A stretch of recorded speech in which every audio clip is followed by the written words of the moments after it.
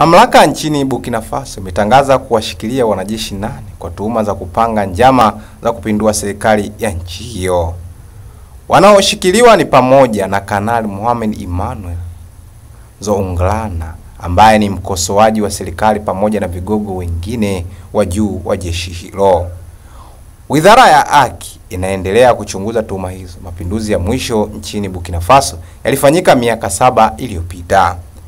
Kiongozi aliyekuwa madarakani Loch Marc Christian Kabore alifanya mabadiliko makubwa kwa serikali ili kukabiliana na mashambulizi ya mara kwa mara ya wanamgambo. Mimi naitwa Sigfrid Sebastian Kiawike, mtu pekee ambaye nakupa update mbalimbali kutokea hapa Mandai TV. Kikubwa ni kuendelea kusubscribe na comment ili kupata notification mbalimbali ambazo zinatutembelea hapa muda na wakati wote kutokea hapa pa Mandai TV. Kikubwa mimi sita cha ziada, nikwambie tu mpaka wakati mwingine. Kesho napo ni siku, panapo majaliwa ya Mwenyezi Mungu.